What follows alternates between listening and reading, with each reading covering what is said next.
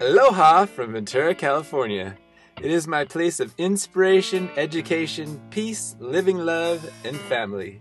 It is where I met my high school sweetheart, Megan Conaway, got her prego, and proceeded to make the best of being a teenage parent. With moral support from both of our families, we moved in together at the Conaway's place at 293 Delaware Drive. Megan's huge family welcomed me, in time, in their own way. And just a month after graduating high school, altogether we welcomed my son, Devin. The Conaways lovingly renamed him Devo. The three of us stayed cozy in the detached room in the backyard. My job at the bank afforded us with the deal of a lifetime. My brother in law's work connection put us in a two bedroom house with an acre of land for $500 a month.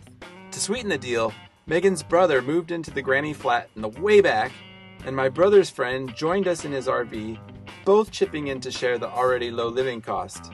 Although we nestled up to an out of service oil refinery, it was our slice of paradise. We had successfully crashed the system to live the American dream our way.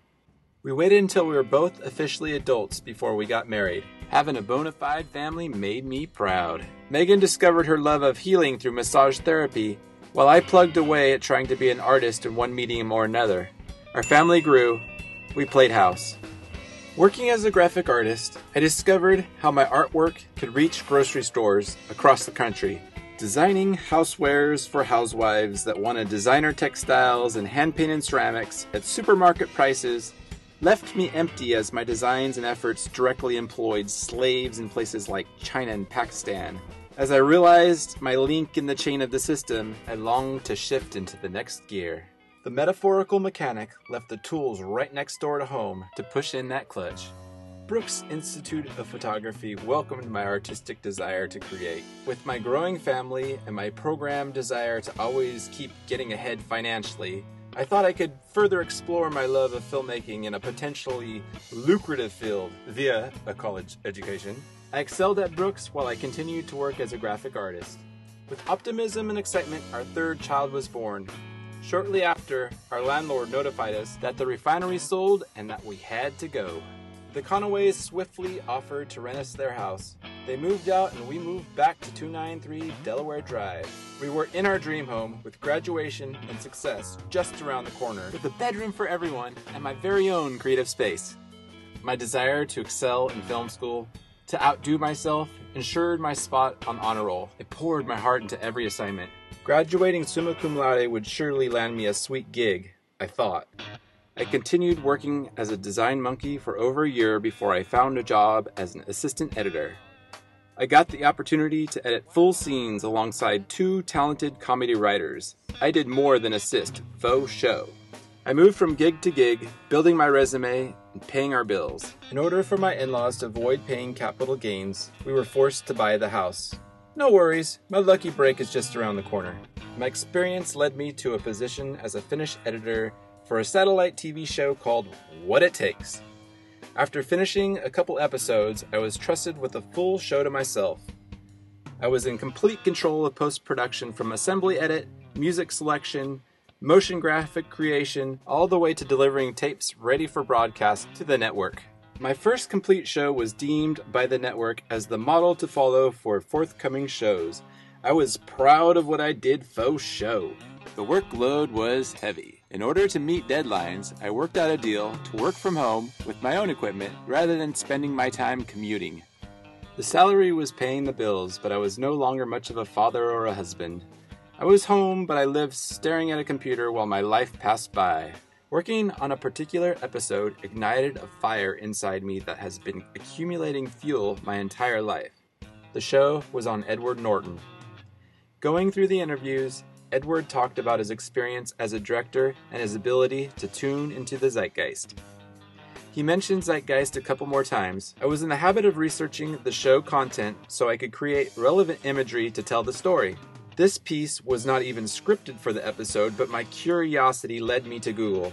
I quickly learned what the word meant, but I was intrigued by the link to Zeitgeist, the movie. I ended up watching the entire movie, even though Edward Norton's deadline was pressing. Things that I have always felt became clear. I don't know what it was that got me studying everything from Gandhi, Martin Luther King Jr., Krishnamurti, Nikola Tesla, Jesus, Buckminster Fuller, Carl Sagan, and on and on, but I loved it. Eventually, What It Takes went into reruns, and that gig was up. I stayed the course, taking gigs to build my resume. I helped out friends, and I occasionally got gigs that inspired me to continue on my quest to make it as an editor. With my other job of being a stay at home dad, I spent a lot of time in the car listening to NPR as I taxied kids to and fro their busy lives. One day, a special broadcast came on of Obama's Nobel Peace Lecture. He basically said to ensure peace, we had to send thousands of troops to war. Sitting back and allowing war in my name no longer set well with me. My calling to share the path to peace that the Zeitgeist movement advocates by creating images that would possibly get others to consider the direction of a resource based economy became my mission. It started with a Facebook post. With the calling to become the change I wish to see in the world, I sat at home, hemming and hawing over going down to Marina del Rey for Z Day. My muse lovingly pushed me out the door to meet up with the like minded people. I felt as if I reunited with my cosmic family that day, surrounded with art in a music studio, discussing how we can live a thriving life while exploring our deepest passions in a loving environment. A few people from various backgrounds and different stages in life presented logical ideas with scientific data to support the material. I felt the unconditional love of the idea of knowing that we have the power right now to house, feed, educate, love everyone. We have the tools and we have the know how to restore our planet to a healthy Garden of Eden where we encourage one another to eat the fruit of knowledge while sharing the responsibility of being a steward of Spaceship Earth. The calling to get involved stoked my passion.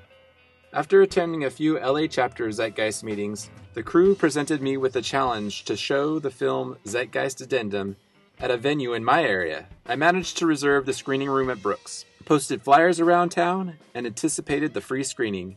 A handful or two of people showed up to watch and discuss the film. The few people there ended up forming the Ventura County Zeitgeist movement.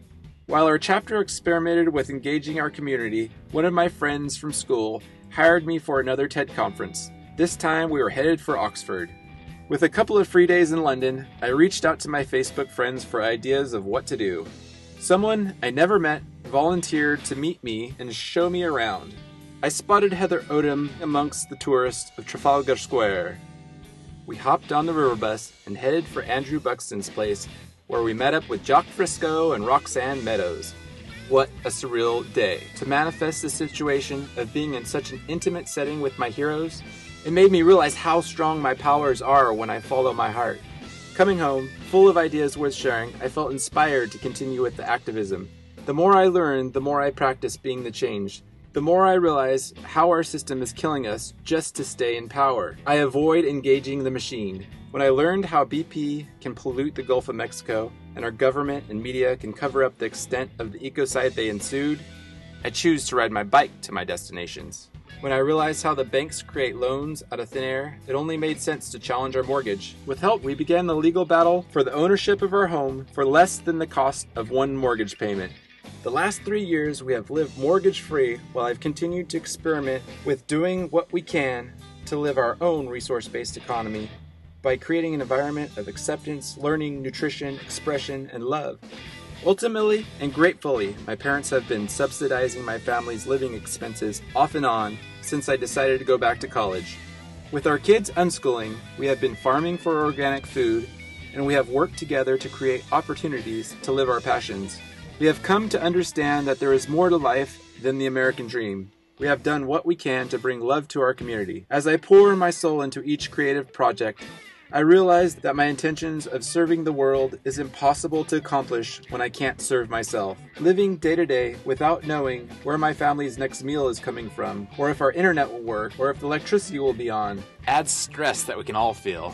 Through our back and forth with the court and the bank, we failed to follow procedure. Our demand for a trial was dismissed, so the bank has won the rights to the house, and we've been notified that the sheriff will be at our door any day to evict us. We have already started the letting go process and have been selling all of our belongings. We have a dream to experience life in an RV following our passion as a family adventure.